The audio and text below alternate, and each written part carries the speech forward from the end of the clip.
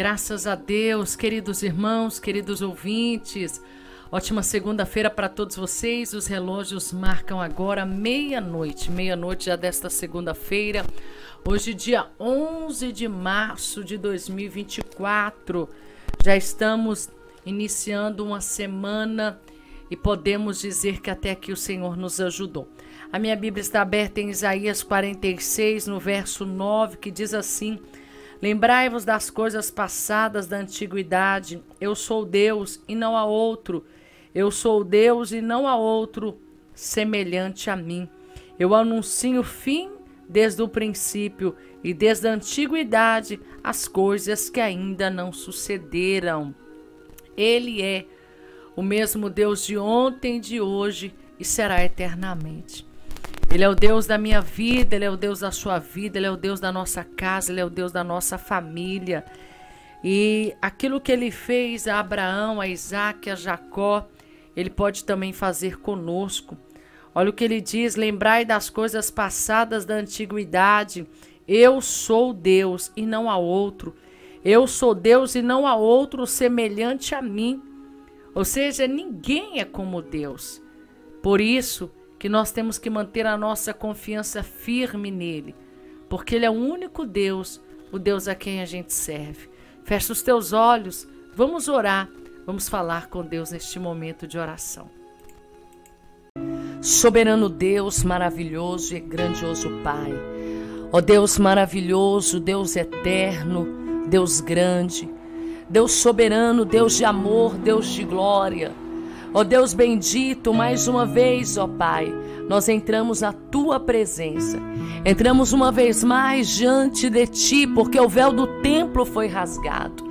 E hoje temos acesso ao Pai, temos acesso ao Senhor, o nosso Deus, o nosso ajudador. Temos acesso ao Senhor, Pai, o Deus que por nós tudo executa. Meu Pai, neste momento precioso de oração, eu quero te magnificar. Senhor, eu quero te exaltar, eu quero retribuir ao Senhor a honra e a glória.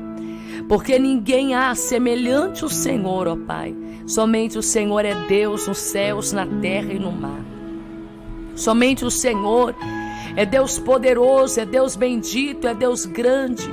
Somente o Senhor, Pai, é poderoso para fazer em nós infinitamente mais do que pedimos e do que pensamos.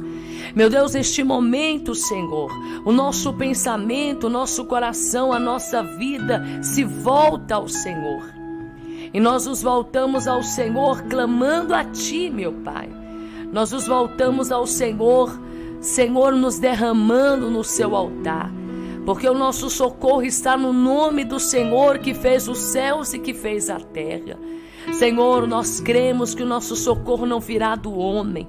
Nós cremos que o nosso socorro não virá de um gabinete pastoral ou, Senhor, até mesmo de um escritório de advocacia. Não virá, Senhor, dos estudos de um jurista ou de um advogado.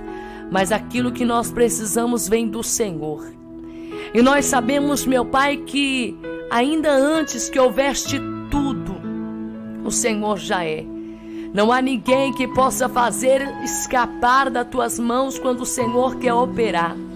Senhor, ninguém há que possa fazer escapar das tuas mãos quando o Senhor quer curar, quando o Senhor quer transformar, quando o Senhor quer libertar. Não há ninguém que possa fazer escapar das tuas mãos, meu Pai, quando o Senhor quer operar os seus milagres. Senhor, nós nos colocamos diante de Ti agora para te pedir, ó Pai, cumpra em nós o seu propósito, cumpra em nós, meu Deus, o teu querer, cumpra em nós, meu Pai, a sua vontade.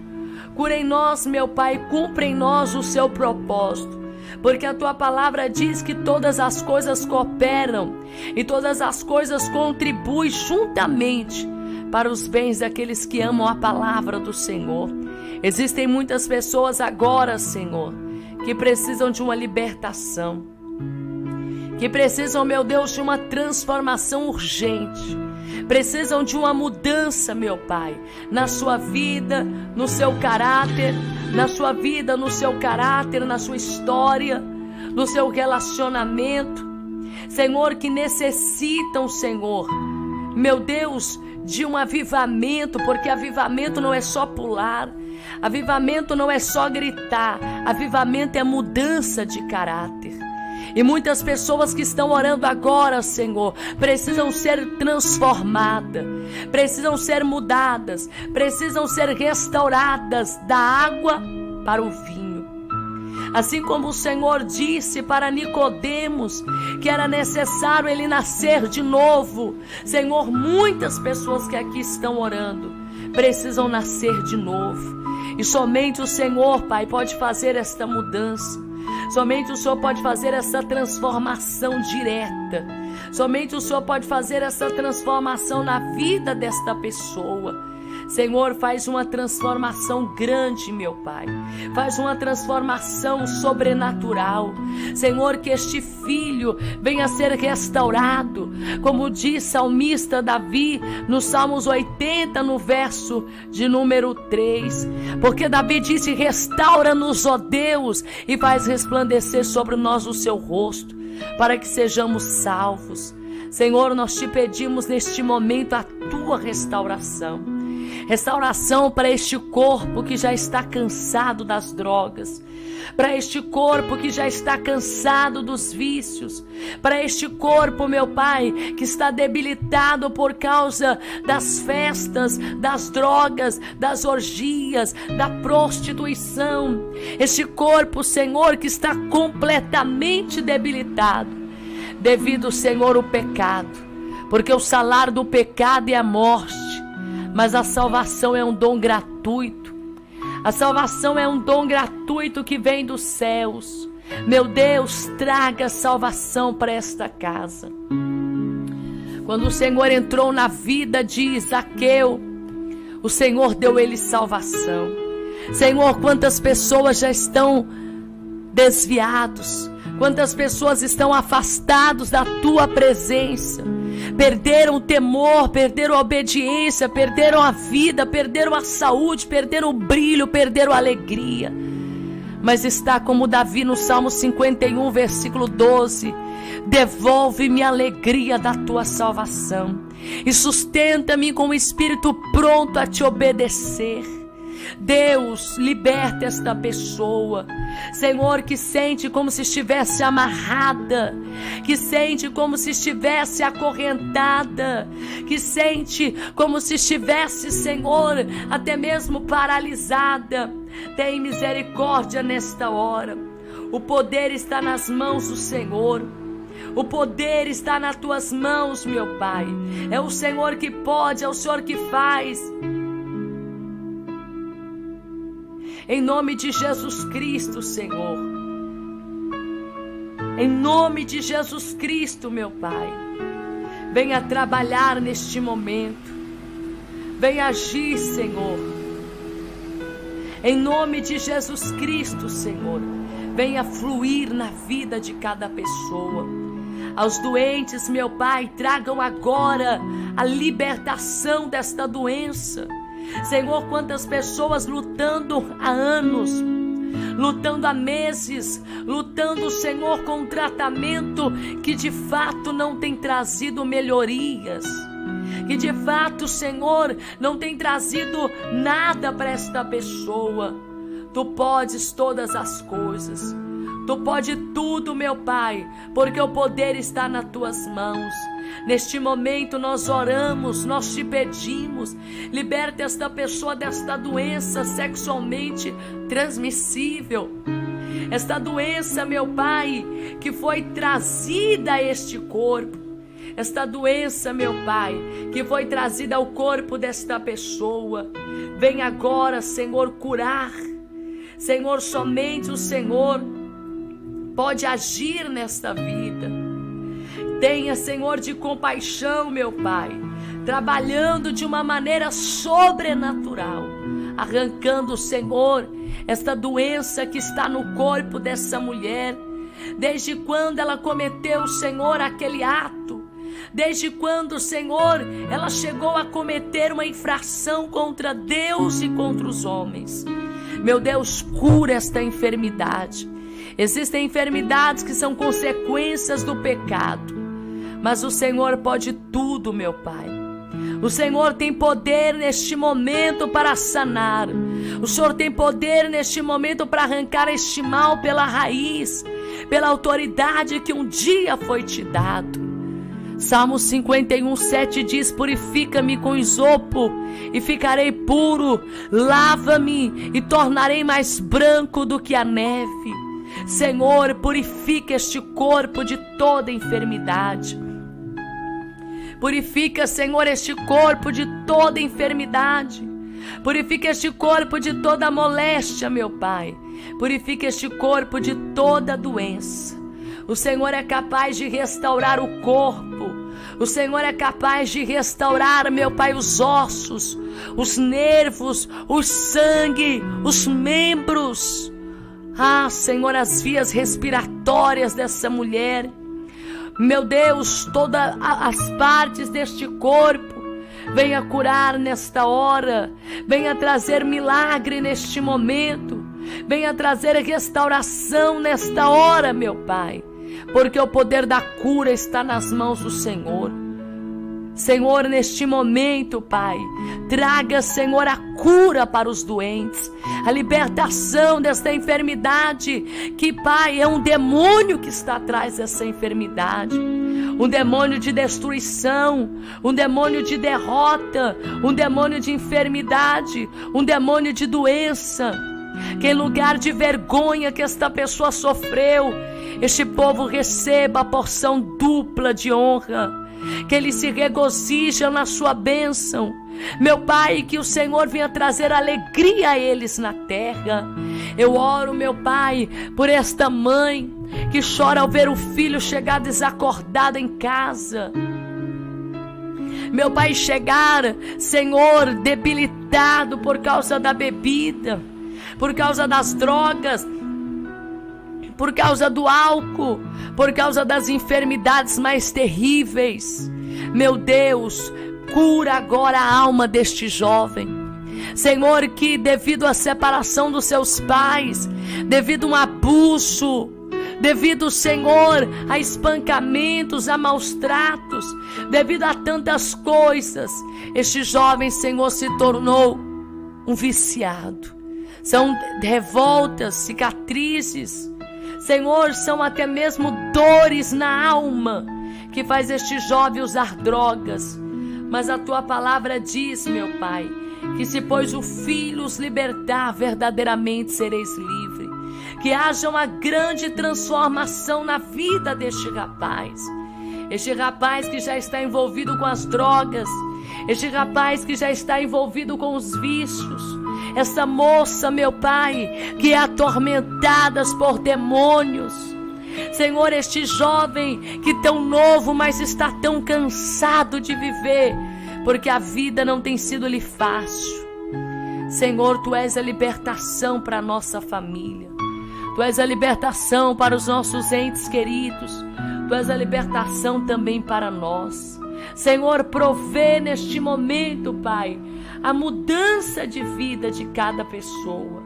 Este homem, esta mulher que já errou tanto na vida, mas que agora já não desejam mais viver desta maneira, meu Pai.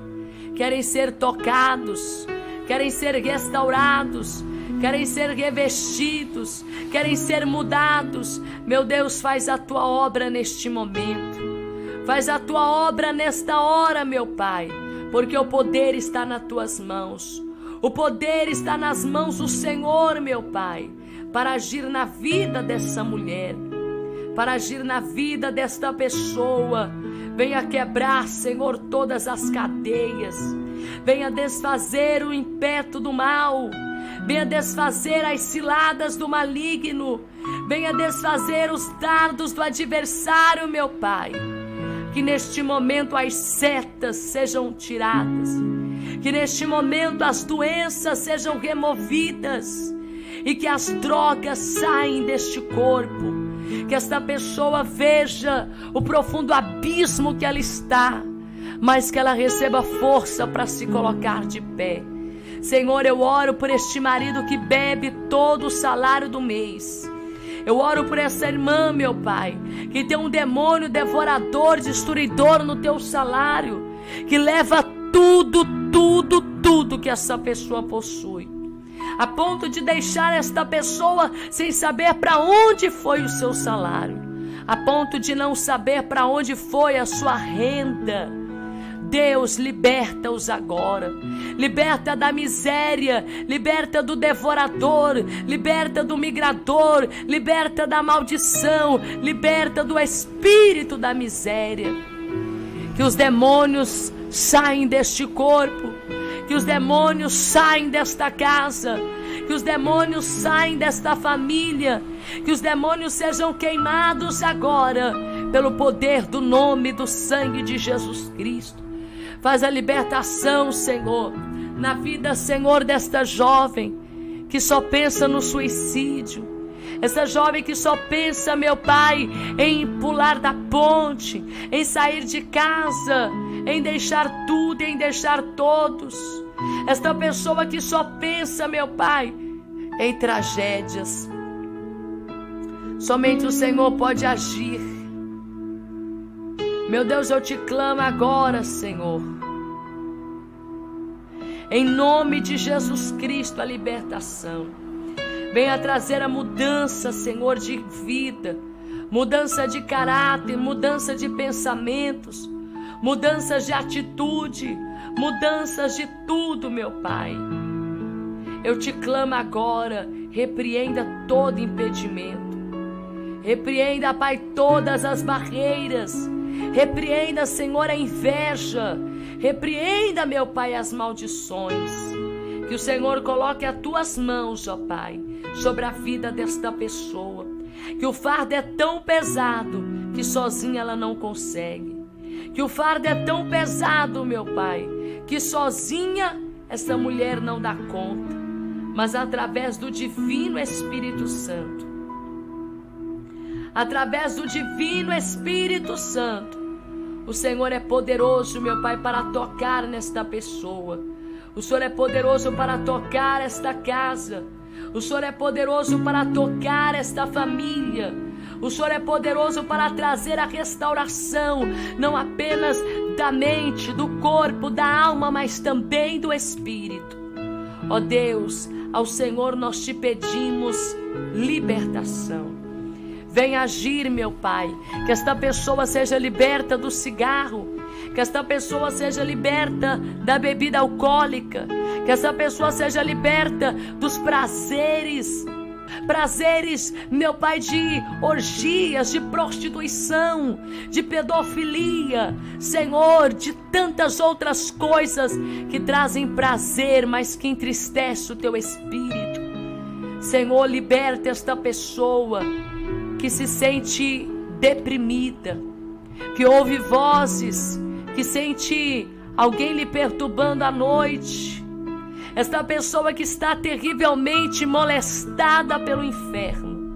Liberta esta pessoa, traga vida, traga transformação. Senhor, que todos os pedidos de oração aqui do canal, todos os pedidos de oração que estão sendo apresentados, possa subir como cheiro suave às narinas do Senhor e que haja, Pai, uma grande obra.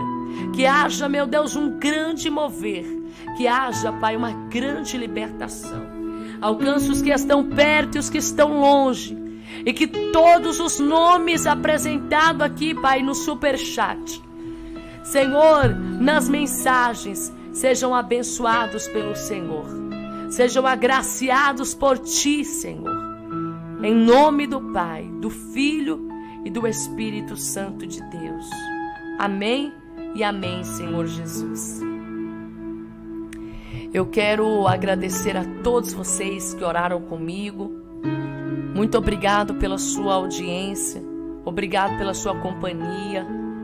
Às vezes, irmãos, a libertação de quem a gente imagina parece ser tão difícil, mas para Deus isso é uma questão de tempo. Para Deus isso é uma questão de querer. Deus ele pode libertar qualquer pessoa da água para o vinho. Assim como em Caná da Galileia ele transformou água em vinho, ele pode mudar a situação daquelas pessoas que talvez até a sua situação, porque talvez você não está orando por alguém, está orando por você. Ele pode te libertar. Irmãos, é muito bom quando Deus nos liberta. Eu fui criada na igreja. Minha mãe é assembleiana desde que eu entendo que sou, que sou gente, né? Minha mãe é cristã há muitos anos. Mas o fato de você ser filho de crente não, não se faz ser neto de Deus. Deus não tem neto, Deus tem filhos. Então não é porque que a sua mãe é filha de Deus que você é um neto de Deus. Você tem que assumir o lugar de filho de Deus. E quando eu tinha meus 10, 11, 12 anos, eu sofria muito com pesadelos, pesadelos terríveis. Não era pesadelos, demônios em sonhos. E eu sonhava caindo de cabeça para eu sendo jogada de prédio, de cabeça para baixo. Demônios querendo me matar. Olha, eu tinha sonhos terríveis, terríveis. E um dia, quando eu entrei na igreja pentecostal Deus de Amor, a igreja da qual sou membro, era um culto de crianças. Mas na minha época, crianças já pregavam, orava pelos dons. E uma menina disse aqui tem uma adolescente, ela era menor do que eu.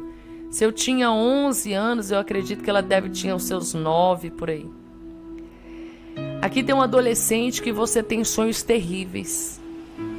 E Satanás, ele sempre manifesta a vontade dele contra a sua vida. Ou seja, a vontade do diabo era me destruir. Talvez, né, hoje eu moro em prédios, morava no Brasil em prédio. E talvez se eu não tivesse conhecido a Cristo, e esse demônio sempre me mostrando, me jogando de prédio, talvez algum dia poderia acontecer isso se eu não tivesse Cristo na minha vida. Mas eu louvo a Deus porque o Senhor, Ele nos livrou do laço do passarinheiro. E aonde abundou o pecado, superabundou a graça de Deus. Então é importante que você ore. A libertação vai chegar na hora que você menos imagina. Eu nunca mais sonhei com aquilo, nunca mais, nunca mais, nunca, nunca, nunca. Porque isso é uma obra de Deus. Quando nós buscamos, Ele nos liberta. Se há alguém ainda que fuma, se há alguém ainda que usa drogas, se há alguém ainda que é oprimido na pornografia, oprimido em tantas coisas, confesse o seu pecado. Não estou dizendo ao padre, ao pastor, mas confesse para Deus em oração. A Bíblia diz assim, ó, que aquele que confessa o seu pecado e deixa, ele alcança misericórdia. A porta da graça ainda está aberta, mas muito breve ela vai fechar. E que no nome de Jesus Cristo você tenha condições de entrar por esta porta, tá bom? Forte abraço. Levante as mãos, diga: Senhor Jesus, eu te aceito como único e suficiente Salvador da minha alma. Escreve o meu nome, Senhor, no céu, no livro da vida. Me purifica, ó Deus, de todos os meus pecados e perdoa-me. Faz de mim um servo fiel para que eu possa morar contigo no céu. Amém e amém. Que Deus abençoe vocês. Irmãos, fiquem com Deus. Eu vou ficando por aqui. Forte abraço. Que Deus guarde a vida de cada um em nome de Jesus.